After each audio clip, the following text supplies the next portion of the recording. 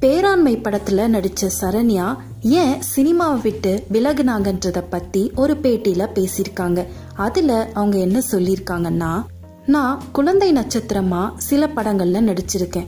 அப்போ இருந்தே எனக்கு பாலியல் தொல்லைகள் நிறைய நடக்க ஆரம்பிச்சிடுச்சு. ஷூட்டிங் போகும்போது என் அம்மா அப்பா கூட வரமாட்டாங்க. இதை அட்வான்டேஜா எடுத்துக்கிட்டு ஷூட்டிங் ஸ்பாட்ல சில ஆண்கள் என்கிட்ட தப்பா நடக்க முயற்சி பண்ணாங்க. இந்த மாதிரி பல தடவை என்ன பாலியல் ரீதியா துன்புறுத்தியிருக்காங்க.